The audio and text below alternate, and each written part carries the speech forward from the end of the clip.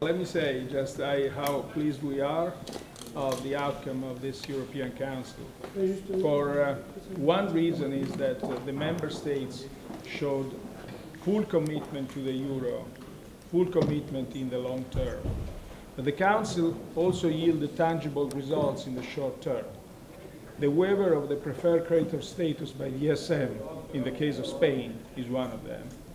The use potential future possibility of using the ESM for direct recapitalization of the banks is also another result, which we advocated as ECB for a long time.